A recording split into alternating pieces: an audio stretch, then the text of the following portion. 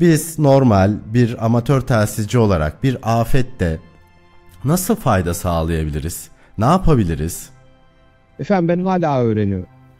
Ben hala öğreniyorum. Yani karşınıza biri çıkıp da amatör telsizcilikte ben şunu biliyorum, bunu biliyorum. Bu iş öyle değil. Elektronik olsun, tıp olsun, öğretmenlik olsun, bilgisayar sektörü olsun. Efendim literatürü okumadığınızda, kendinizi update etmediğinizde, yenilemediğinizde o teknolojiler yok olup gidiyor.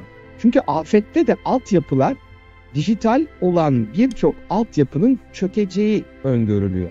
Ve bundan evvel yaşadığımız 3 tane e, Türkiye genelindeki afette saatlerce GSM operatörleri e, off oldu.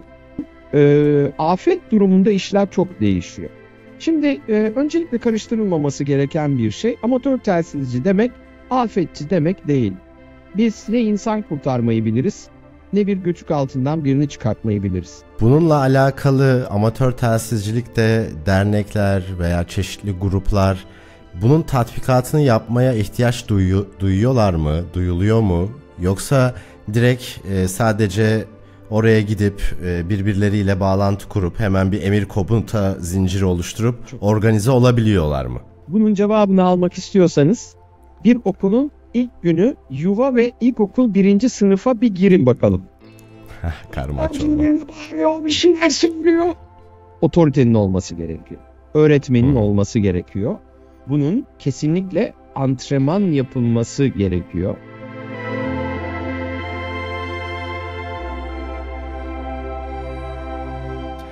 Volkan abi hoş geldin. Seni bir programa konuk etmek benim için büyük zevk. Estağfurullah. Çok teşekkür ederim. Hoş bulduk. Nasılsın? İyiyim. Valla önce sen beni konuk ettin. Şimdi sıra bendeydi. Estağfurullah. İ- e, ziyareti iade mi denir? İade ziyaret. İade ziyaret efendim. E, kahvemizi, şekerimizi de alıp e, Antalyalara e, ziyarete geldik. Bu akşam da güzel, keyifli bir sohbet olur inşallah.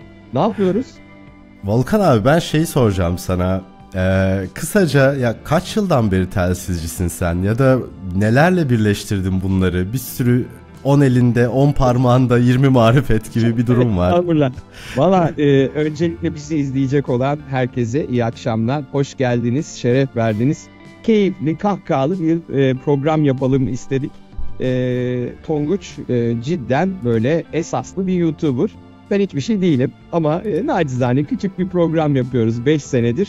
Biraz niş, özel bir e, bölgede yapıyoruz. Yani amatör telsizciler için eskilerin, yenilerin e, bir araya geleceği, hoş sohbet edeceği bir program yapıyoruz. Tabii böyle bir programa soyunabilmek için de belli seneleri geride bırakmış olmak, basit soruları çok hızlı cevaplayabiliyor olmak, o konuda biraz bilgi sahibi olmak gerekiyor. Efendim ben 67 doğumluyum, e, 57 yaşındayım.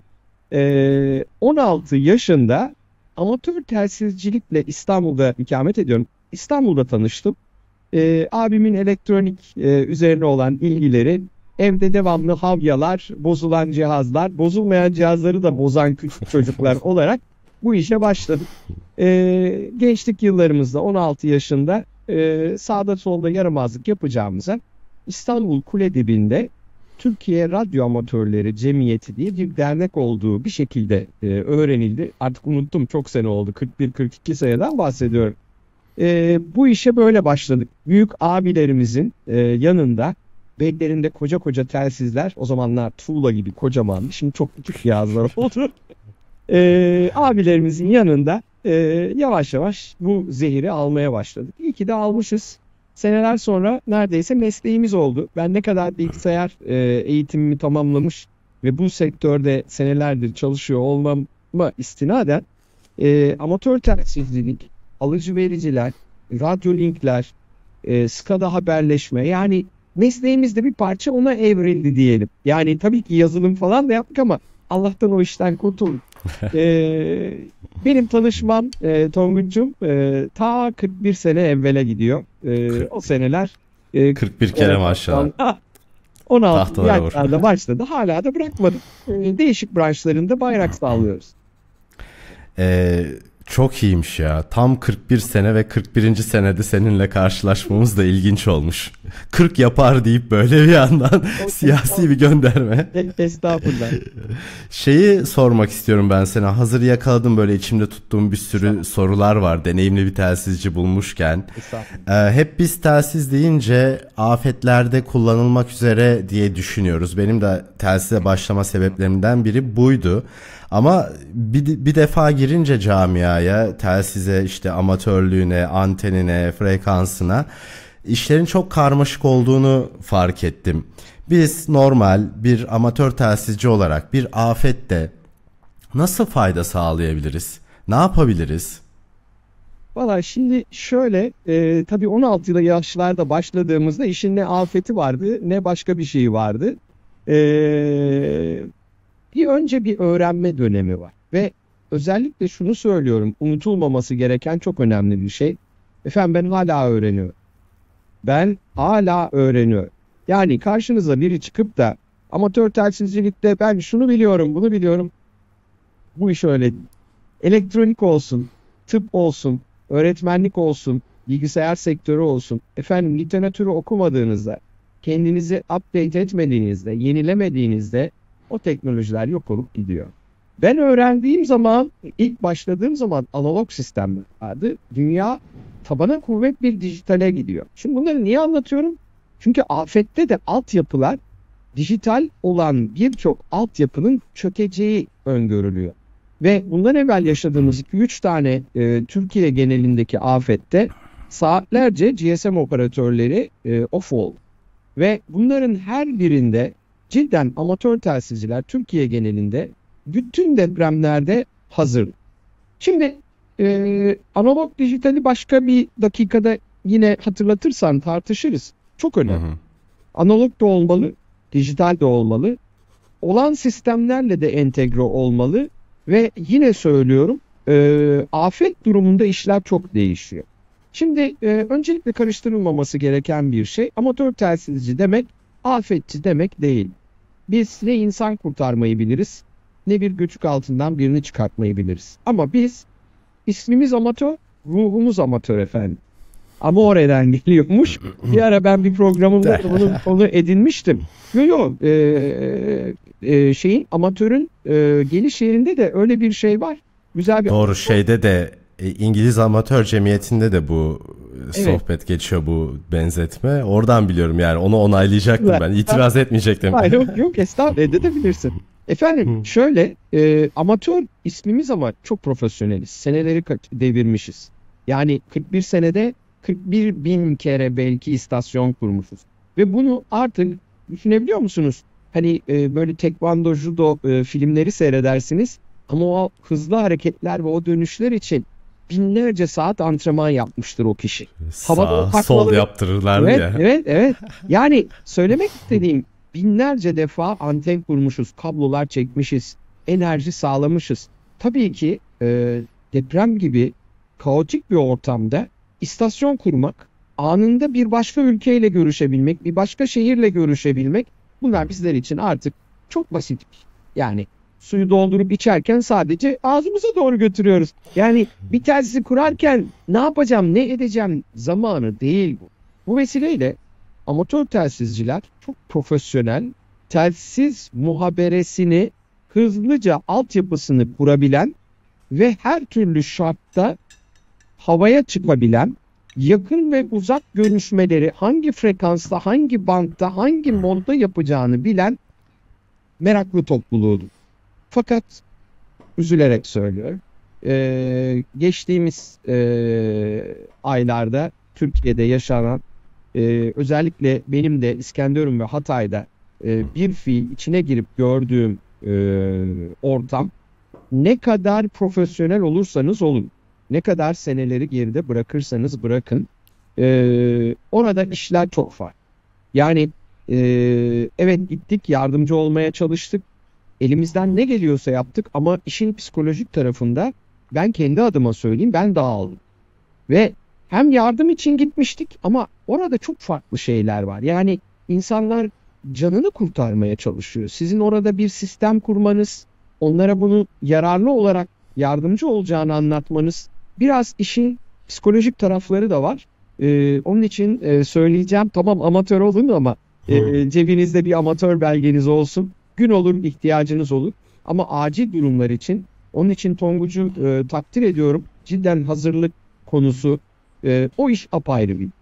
Ve biz amatörleri lütfen acil durum haberleşmeci olarak algılamayın. Bizim hobilerimiz var. Mesela geçen hafta çok güzel Avrupa'da bir yarışma oldu. Avrupa dışı ülkelerle yapılan bir yarışma vardı. Almanya bunu organize etti. İki gün boyunca biz o yarışmaya girdik. Bugün de e, yaptığımız görüşmelerin sayılarını yükledik. Önümüzdeki haftalarda da sertifikamızı alacağız. Yani amatörlük sadece acil durum haberleşme değil. Biz antrenman yapıyoruz. Mesela ben bu hafta sonu Tayland ve Japonya ile konuştum. İstanbul'da ve çatı antenimle. Şimdi diyeceksiniz ki ya WhatsApp var. Depremde WhatsApp falan yok. yok. Depremde telefon yok. Depremde SMS bile bazen yok. Yani bu telsiz çok önemli bir şey. Tonguç'um evet acil durumda e, hemen e, biz bir anda hobimizi profesyonel telsizciye dönüştürüp devletimizin, halkımızın hemen e, emrinde, yardımında koşan bir grubuz ve kalabalık bir grubuz. Peki abi şey soracağım ben. Ee, bununla alakalı amatör telsizcilikte dernekler veya çeşitli gruplar bunun tatbikatını yapmaya ihtiyaç duyu, duyuyorlar mı? Duyuluyor mu? Yoksa direkt e, sadece oraya gidip e, birbirleriyle bağlantı kurup hemen bir emir komuta zinciri oluşturup Çok organize olabiliyorlar mı? Çok güzel bir soru. Ee, bunun cevabını almak istiyorsanız bir okulun ilk günü yuva ve ilkokul birinci sınıfa bir girin bakalım. Karma çorba. Bir şeyler söylüyor. Otoritenin olması gerekiyor. Öğretmenin hmm. olması gerekiyor. Bunun kesinlikle antrenman yapılması gerekiyor. Ee, daha evvel e, İstanbul'da özellikle e, kaotik bazı e, sallantılar olduğunda hemen rölemizde bu işi yine 40'lı seneleri devirmiş bir dostumuz e, anında o frekansta, o rölede e, röleyi de birazdan isterseniz kısaca açıklayalım e, dostlarımıza. Olabilir. E, hemen göreve başlıyor. Herkesi bir sakinliğe, e, sükunete davet ediyor. Ve o andan itibaren yönetiyor. Yani çevirim dediğimiz, net dediğimiz işi Yani İstanbul'da birazdan her bölgeden bir kişinin rapor vermesini rica ediyorum. Veya acil bir ihtiyacı olanlara öncelik vereceğim lütfen beni anons ederek başlayın deniyor. Yani girişler ve çıkışlar bir anda olmuyor.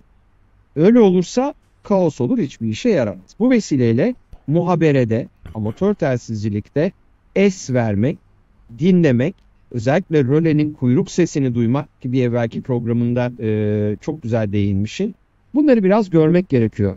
Bu vesileyle kısa bir önerim. Lütfen amatör telsizci olur olmaz frekanslara çıkmayın biraz dinleyin. Örf, adet bunlar çok çok önemli. Özellikle acil durumda ne yapılması gerekilenlerle ilgili çevrenizdeki derneklere gidin. Zorla isteyin. Onlar zaten öğretecekler size ama deyin ki ben çiçeği burnunda bir amatörüm. Bana lütfen bu işin ABC'sini gösterin. Kanun, yönetmelik, işletme, elektronik bu derslerden siz geçmiş olabilirsiniz. Ama pratik çok farklı bir şey. Bu vesileyle evet dernekler çevrimler yapar, netler yapar. Orada da bir karmaşa var. Ee, bunlar çok önemli. Bütün iş antrenman. Altın madalya kazanmak istiyorsanız senelerinizi, aylarınızı vermeniz gerekiyor efendim. Çalışmanız lazım. Abi çok teşekkür ediyorum. Ee, benim kafamda seninle konuşurken de aslında bir şeyler canlanıyor. Ee, şimdi Giriş seviye amatörler var mesela benim gibi el telsizinden yukarıya çıkamamış. Atıyorum e, senin gibi veya senden daha deneyimsizler diyeyim belki anten kurabilen ama sabit telsiz kullanabilen atıyorum sen HF vesaire uydu sistemlerine erişebilen aslında otomatikman herhangi bir acil durumda herkes görevini ve kapasitesini biliyor gibi anladığım kadarıyla ona göre de bir organizasyon oluyor. Evet evet Şimdi şöyle söyleyeyim. E, amatör telsizcilikte e, lisanslı amatörler e, hangi frekansta nereye ulaşacağını çok iyi bilir. Ve bizler acil durumlarda bağlı bulunduğumuz ita amirliği, bu emniyet olabilir, jandarma olabilir, bir kolluk kuvveti olabilir. Eğer gelip sizden yardım istiyorsa ilk soru şudur. Sizi nereyle görüştürmemi istiyorsun? Şimdi hı hı. uzak bir yerle görüşülecekse mesela e, zamanında e, çok eski yani cennet olmuş küsür sene geçti. E, Fatih'te sivil savunma binasında e, yine bir depremde geceledik orada kaldık görevler aldık. Ben de daha gençtim çocuktum.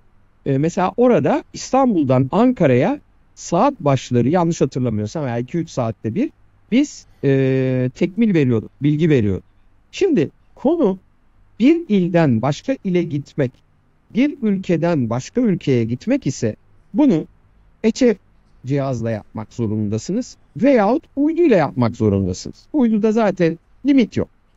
Yani tabii ki var. Mesela yarım küreye kadar e, uydudan Hı. iletişim yapabilirsiniz. Uydular arası linkler varsa o zaman bütün dünyayla konuşabilirsiniz. Bu vesileyle eğer derlerse ki İstanbul içerisinde şu şu şu bölgelerimizde e, kollarımız var.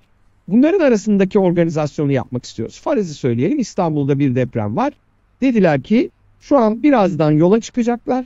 Beşiktaş, Kadıköy, e, Ataşehir, Ataköy bu bölgelere 4 veya 5 istasyon yollayacağız. Buraya giden ekiplerin tüm kurtarma ekipmanları var. Yanlarına da sizden bir telsizci koyacağız. Şimdi bu insanlarla EÇEF yani düşük frekans, high frekansta konuşulmaz. VHF veya UHF onların zaten tactical antenleri vardır kocaman. Hangi Hı-hı. frekanslarda konuşacağımızı biliriz ve alana yayılırız. Ondan sonra o bölgelerden devamlı saat başı bilgi alırız. Hangi binada neye ihtiyaç var? İskenderun'da aynısı oldu.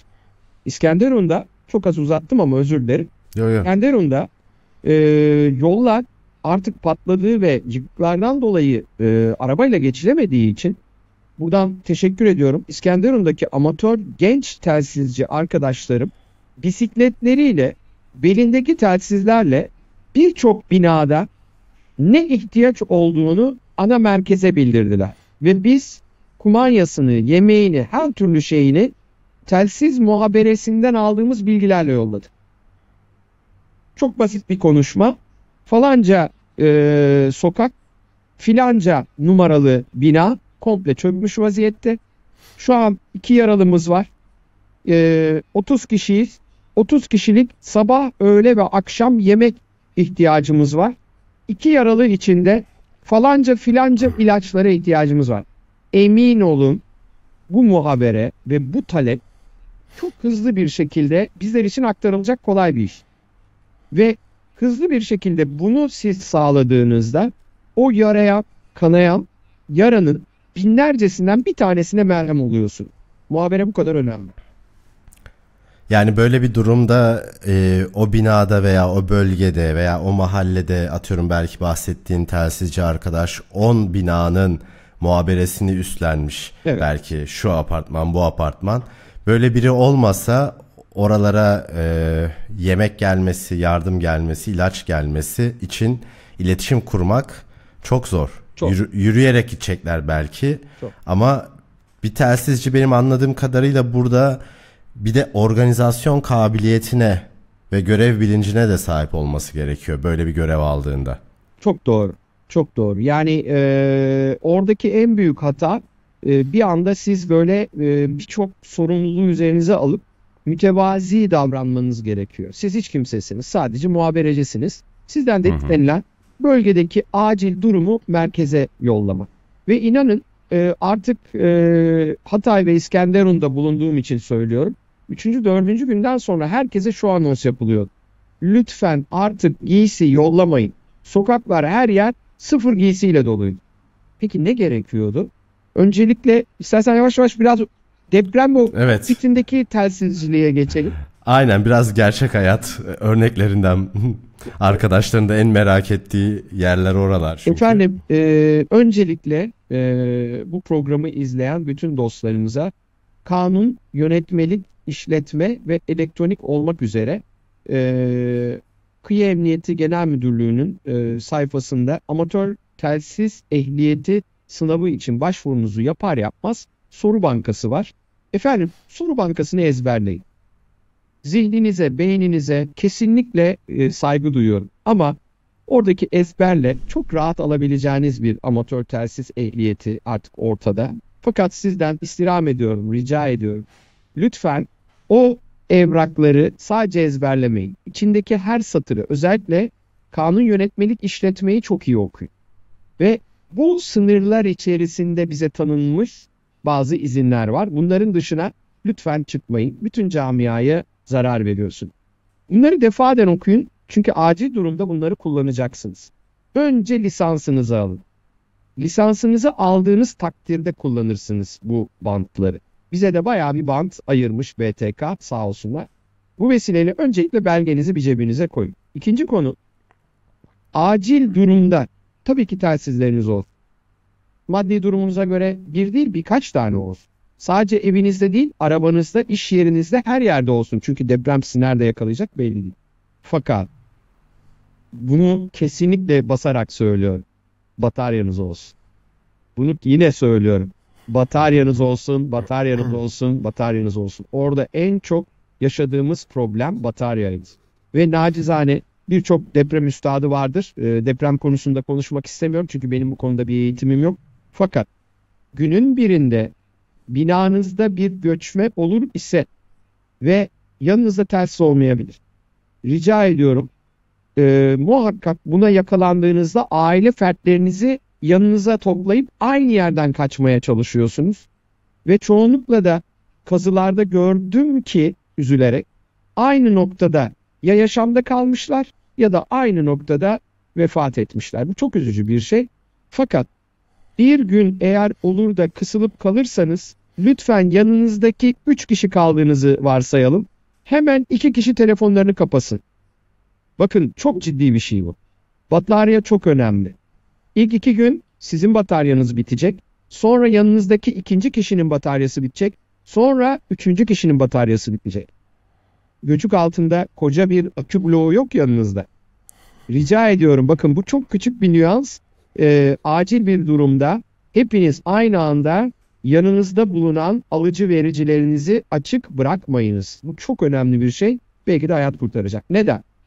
Efendim e, birçok çalışmalar var. E, devletimizin de çalışmaları var. Biz amatörlerin de çalışmaları var. Düşünebiliyor musunuz? GSM komple gitti. Yerin altındasınız. Üzerinizde metaller var. Bunlar hep gördüğüm konular. E, nacizane söylüyorum. Hiçbir bilgim yoktur deprem ve kurtarma ile ilgili ama RF ile ilgili bilgim e, yeterli seviyede var ve hala da öğrenip geliştiriyoruz. Üzerinize birçok moloz birikmiş ve metaller birikmiş. Haliyle Faraday dediğimiz sizin telsizinizin veya telefonunuzun yayın yapamamasını sağlayan manyetik bir alan var ve sizi onun içerisinde hapsetmiş. Bu vesileyle yanınızdakilerin telefonlarını kapattırın. Neden? Kaza kaza size yaklaşan kişiler yanlarında bir hotspot, bir Wi-Fi verici varsa ve Wi-Fi vericisinin SSID dediğimiz hani evde Wi-Fi'ların isimleri var ya bana bağlan veya AFAD diye bir şey görüyorsunuz. GSM yok. Hiçbir şey yok. Yavaş yavaş size doğru ulaşmış AFAD yetkilileri ve orada AFAD görüyorsunuz. Yanında da şifre yok. Anında bağlanırsınız. O andan itibaren artık sizi kurtaracak ekibin Wi-Fi'ine bağlandığınız için onun da yukarıda interneti olduğu için rahatlıkla sohbet edebilirsiniz. Bu vesileyle batarya çok önemli. Amatör telsizcilere de bunu sağlık veriyorum. Efendim yeni amatör olacak iseniz muhakkak Type-C konnektörlü yani her yerde şarj edebileceğiniz özellikle e, kalem pil takılabilen bataryaları olan aksesuarlar alabilirsiniz ve bunları almalısınız. E, batarya çok önemli ve alanda batarya servisi veren amatörlerimiz var. Yani alandan geliyor kurtarma ekibi yanındaki telsizlerin bataryalarını çıkarıp merkeze bırakıyor. Orada hazır bataryaları alıp gidiyor. Çünkü muhabere yapıldıkça batarya çabuk bitiyor. Yine söylüyorum e, alanda lütfen bataryalarınıza dikkat ediniz. Birden çok telsiziniz olsun. E, telsizleriniz ne olursa olsun antenleri çok önemli. Bir konumuzda antenler. Muhakkak yedek ve uzun uzun mesafe konuşabileceğiniz antenleriniz olsun. Şimdi çok fazla yoğun şey yapmayalım. Talep gelirse bir programda komple dikkat edilecek konuları tekrar geçeriz Tonguç'um. Ben çok önemli bir bir şey söylemek istiyorum. Bak kaç kişiyle görüştüm. Telsizci, arama kurtarmacı vesaire.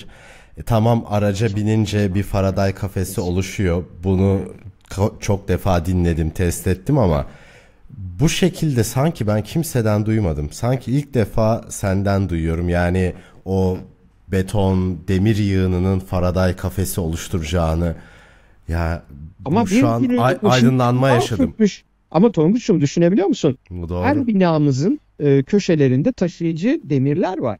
Bunlar hmm. kalın demirler ve bunlar bir anda tepene bir e, kubbe gibi kapanıyor. Efendim bunu test etmek istiyor musunuz? Ya konuşmuş da boş konuşmuş. Efendim boş boş falan değil. E, gayet de dolu. Okullarda verdiğim derslerde de e, genç arkadaşlarımıza şunu söylüyorum. Akşam evinize gittiğinizde anne veya babanızın e, telefonunu alın diyorum. Bir tane tencerenin içine koyun. Yalnız kapağı metal şey olmayacak, cam olmayacak, metal olacak. Düdüklü tencere. Efendim annenizin telefonunu onun içine koyun, kapağı da kapatın. Bir dakika bekleyin, babanızın telefonunuzla annenizi arayın. Kapsam alanı dışında. Çünkü bir Faraday olacak. Bir, o kubbe çökecek. O göçük altında olacaksınız. Kötü günleri düşünün. Varsın internet yine çalışsın. GSM şebekeleri varsın yine çalışsın. Hani diyorlar ya dronlar uçuracağız. Cep telefonları çekecek. Hani dronlar? Ben özür dilerim drone falan görmedim. GSM dronlarından bahsediyorum. GSM drone'u görmedim. Yani e, işin bir de gerçek realitesi var. E, acil durumda hazırlıklı olun. Evinize, iş yerinize, arabanıza, e, yazlığınıza, kışlığınıza her yere bir tane telsiz bataryasıyla şarjı yapılmış vaziyette belki de şarja bağlı bir şekilde bırak.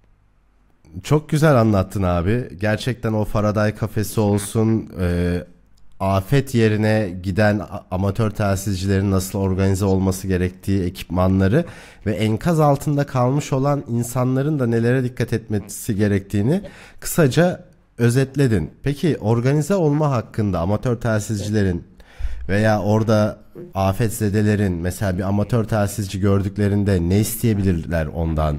Nasıl bir diyalog kurmalılar veya telsizciler nasıl diyalog kurmalı? Dilim döndüğünce, dilim döndüğünce söyleyeyim. Öncelikle benim ilk deneyimimdi. Bu e, direkt ikinci günü zaten yola çıkıp e, ilk şaşırdığım şey e, afet alanına yaklaştıkça yakıt problemlerinin olması.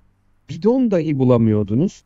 İstanbul'da e, yavaş yavaş Ankara'ya geldiğimizde benzinlikten çıkış saatimiz böyle e, bir saat iki saatleri aldı. Alana iyice yaklaştığımızda artık girmemeye başladık. Çünkü unutun onu. Ya öyle bir şey yok. Onun için hazırlık çok çok önemli. Şimdi bunu niye anlatıyorum? Organize olmayla alakalı. Her benzinciye de girdiğimizde ben Türkiye'de bu kadar çok e, kamyonet ve jipin olduğunu bilmiyordum. Yani gurur duyuyorum. Vallahi iyi ki varsınız. Benim o yol boyunca gördüğüm oraya hiçbir maddi menfaat düşünmeksizin giden bütün Türk halkına e, teşekkür ediyorum. Bu arada bunu birkaç kere daha cümle olarak kullanmıştım. E, organizasyona yine döneceğim. E, ama bunu muhakkak söylemeliyim. Hani bir ara bir laf geldi. Yurt dışından ajanlar gelmiş, e, orayı tetkik ediyormuş işte nasıl ne olduğunu falan. Efendim yurt dışından gelen ajanlar ne gördü biliyor musunuz? Türk milleti acil bir durumda tek vücut oluyor. Bu adamlarla sakın uğraşmayın. Bütün Türkiye oraya aktı. Gelen yabancılar bunu gördü. Yemin ediyorum bunu gördü. Ve yol boyunca benim e, takdir ettiğim şey her jipin içinde, her kamyonun içinde bir tane telsizli kişi var. Ve özellikle sordum. Amatör müsünüz? Amatörüm dedi. Şimdi orada giden herkes belinde telsi vardı. Biliyordu orada muhaberede problem yaşayacak. En azından özür dilerim. E, kendi ekibiyle simplex dediğimiz yani birebir hiçbir aktarıcı olmadan, rolü olmadan konuşabilecek halde gittiler oraya. Bu bir mini hücre organizasyonu. Orada daha çok duyacağımı sandım ama oradaki rölelerde sorun vardı. Yine İstanbul'dan çok değerli bir arkadaşımız hemen tepeye çıktı oraya bir röle kurdu. Ee, yine orada rölelere destek veren bir ekiple birlikte Biz oraya e, o zamanlar daha yeni öğreniyorduk, yeni oluşuyordu. QoS uydusu için bir istasyon götürdük. Ben kendilerine bıraktım. Onlar kurmaya çalıştılar. Uydu üzerinden haberleşelim diye. Söylemek istediğim organize olmak, alanda gittiğiniz zaman oranın frekanslarını bilerek hemen görüşebileceğiniz ekiplerin olduğunu bilmek çok çok önemli. Bu vesileyle biz o günden bugüne hep organize olmaya çalışıyoruz ve dijital altyapıları hangi frekanslarda buluşacağımızı, nerelerde neleri konuşacağımızı devamlı aramızda tartışıyoruz. Tabii ki organizasyon çok önemli. Disiplin çok önemli. Nerede susup nerede konuşacağımızı bilmek çok önemli. Bizim görevimiz yetkililerin bize, bize verdikleri sayıları yardım edecek, yardım alabilecekleri yerlere ulaştırmak. Bundan daha ötesini yapmayın. Zaten böyle bir yetkimiz de yok. Son olarak bir şey daha söyleyeceğim Tonguç'um. Kanun ve yönetmeliklerde amatör telsiz kanununda bizlerin kullanmakla e, serbestliği olan frekanslar yazılmış. Biz emniyetin, askeriyenin, daha belki videolarında saydığın diğer bütün e, organların hiçbirinin frekansına girme iznimiz yoktu. Buraları ne dinleriz ne işimiz vardır. Biz kendi frekansımızda, kendi tanımlı olduğumuz yerde çok uç bir bölgede muhabereyi sağlarız. Bunun için de karşıda bir tane amatörün olması yeterli. Bu vesileyle rica ediyorum. Ee, bu bir altın bileziktir. Ee, geçtiğimiz e, saatlerde bir e, medyada şöyle bir soru oldu. İyi amatör olduğunuzda bu hayatınıza ne kattı dedi. Ben cevap vermedim bilerek altına bir 40 tane cevap geldi. Amatör olduğunda hayatına ne kat? Ya ama amatörü ben hayatıma bir şey katsın diye olmadım zaten. Amatör bir hobi. Hafta sonları işte pota, e, park on air diye bir olayımız var. Bir tane kahvenizi, bir tane masanızı, bir tane sandalyenizi alıyorsunuz. E, Türkiye genelinde daha evvelden kayıt ettirilmiş bir parka gidiyorsunuz. Anteninizi geriyorsunuz. O afette açacağınız anteni. Telsizinizi kuruyorsunuz. O afette kullanacağınız telsizi. Akülerinizi götürüyorsunuz. O afette canınız olacak olan bir dirhem suyunuzu. Kurup bütün dünyayla biz şu an şu parktayız. Bizimle görüşür müsünüz diye dünyaya çağrı yapıyoruz. Antrenman yapıyoruz. Benim hayatıma getirdiği şey değişik bir renk, değişik bir eğlence. Bunlar bir hobidir. Bulunan frekansların dışına çıkmayınız. Emniyet güçleri veya kontrolörler veya denetçilerle bir araya geldiğinizde amatör telsiz ehliyetinizi gösteriniz. Kanun zaten size belli haklar vermiş. Bu hakların içinde kalınız. Efendim afetsiz günler diliyorum. İnşallah başka sohbetlerde Tonguç dur dur kaçma dur yani. dur. Dur bak bir, birkaç şey daha var. Olur hemen hemen alayım. Çok eğlenceli aslında. Şimdi dedin ya amatör olmuşsun da yani ne kattı sana demiş ya. Hadi bütün bu bilgiyi falan bir yana bırak. Amatör olmayıp ne yapabilirdin ki? Yani akşam kahveye mi git, gidecektin? Aman aman aman. Öyle yani veya ne bileyim hadi enişteyle okey oynamak. Onları yani... yine yapın. Onları yine yapın. Ama şunu düşünsenize. O enişte de amatör. Enişte bu akşam böyle böyle bir şey var gel diye biliyorsun. Ve bunu herkesin bildiği e, telefonla yapmıyoruz. Yani işin e, keyif kısmındayız. Hala kaç yaşına gelmişiz. Bu oyuncaklarla oynuyoruz. Yeni bir sürü oyuncaklarımız var. E, yüksek frekans haberleşme çok eğlenceli. Özellikle üniversitelerde elektrik elektronik okuyan e, genç arkadaşlarımız var. Onlara öneriyorum e, amatörlüğü. E, bazı üniversitelerimiz var bitirme tezini antenler konusunda vermişler. Anten çok, çok ilginç bir konu. E, efendim bundan seneler evvel Tuzla Deniz Harp Okulu'nda eğitimler veriyoruz. Acil durum haberleşme, uydu haberleşme, işte amatör telsiz kulübü kurduk okulda. Genç arkadaşlarımız amatör oldu. Ee, öğrettiklerimizle, kendi öğrendikleriyle zaten Lanta gibi gençlerdi. Tuzla Deniz Harp Okulu'ndan bahsediyorum e, gün günü kovaladı. Çok güzel dostluklarımız da oldu. Hala da kendileriyle görüşürüm. Genç e, komutanlarımızın diyeyim. Benim gönlümde hala komutanlar ki. E, bir tanesi geldi demez mi? Hocam dedi ben dedi bitirme ödevimi dedi anten konusunda. Böyle yaptık. Allah dedim ben ne pot kırdım. Çünkü onun bilgisi kadar bende bilgi yok. Yani biliyoruz ama pratikten biliyoruz. Oturup da ya okuduğumuz şeylere kadar biliyoruz. Ee, böyle de genç, güzel arkadaşlarımız var. Araştırın. Ee, özellikle dijital haberleşme bambaşka yerlere gitti. Daha da güzel yerlere gidecek. Ee, böyle Tonguç'um. Son bir şey daha. Lütfen. Şimdi e, dedin ya bize ayrılan çok geniş bir frekans spektrumu var. Bunu nasıl kullanacağını bilirsen aslında Evet. birçok şey yapabiliyorsun. E, Bunlar varken bize yasak olan frekanslara girmeye çalışma dedin. Şimdi e, bu frekanslara girmeye çalışa, çalışmayı düşünen insanlar şöyle bir düşüncedeler. Bu düşünceyi bizim öncelikle silmemiz gerekiyor galiba. Ha polis frekansına erişirim, basarım mandala. İşte ben bilmem kim, şuradayım, yardım edin bana. Yok. Veya atıyorum 112. Böyle bir şey Hayır. yani Hayır. Şimdi Tonguç'um anladım ben. Ee, şöyle bir şey söyleyeyim. yani bunu yapamayacaklarını Tabii nasıl anlatabiliriz? Ben önce kurtarılırsınız. Ondan sonra e, kanunlara e, karşı gelmekten de cezanızı da e, katlanmak zorunda kalırsınız. Öncelikle birinci konu bu. İkinci konu efendim e, nasıl biz kendi frekanslarımızda e, bir e, adetlerimiz ve kurallarımız ve organizasyonumuz olduğu gibi 112'de kendi frekanslarında o günkü kaosu kurtarmaya ve solüsyon bulmaya çalışıyor. Herkes bu düşündüğünüz gibi yaparsa oraları kitlersiniz emniyet mensupları, kolluk güçleri bunların hepsi kendi arasında muhabere yapıyor. Siz girerseniz o iş bozulur. Düşünsenize muhteşem bir e, yemek, harika bir yemek. E, içine siz şeker katıyorsunuz. Ya olur mu akşam yemeği mi? Ne şekeri? Siz tabii şeker olun ama frekanslarınızın dışında tuz olmayın efendim.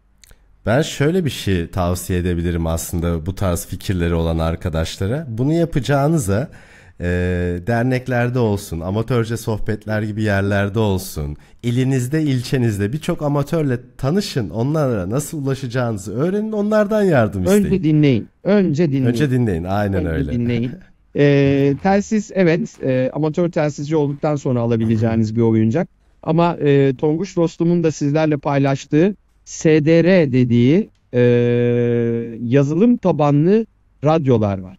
E, bilgisayarınıza USB'den takıyorsunuz, dinliyorsunuz. Çıkış yapamıyorsunuz. Dinleyin efendim, SDR alın dinleyin. Bunda hiç kimsenin bir yasağı şeyi yok. Ve burada dinlediğiniz anda bir hafta sonu yarışma dinleyebilirsiniz. Düşünebiliyor musunuz? e, Artvin'in falanca e, köyünde yurt dışında yapılmış bir yarışmayı dinliyorsunuz.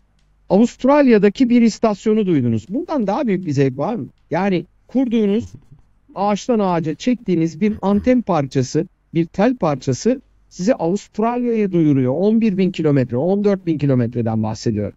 Yani bunlar çok keyifli. Tabii bundan zevk almak lazım. Almayınca da pek bir anlamı yok. E WhatsApp var.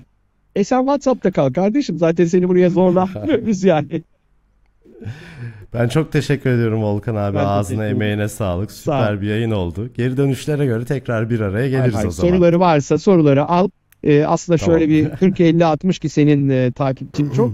E, direkt onları cevaplarız. E, siz sorun, biz cevaplayalım. Bizim görevimiz de o. Çok teşekkür ederim konuk ettiğin Ben- için. ben İyi akşamlar diyorum, iyi yayınlar. Sağ ol. İyi akşamlar.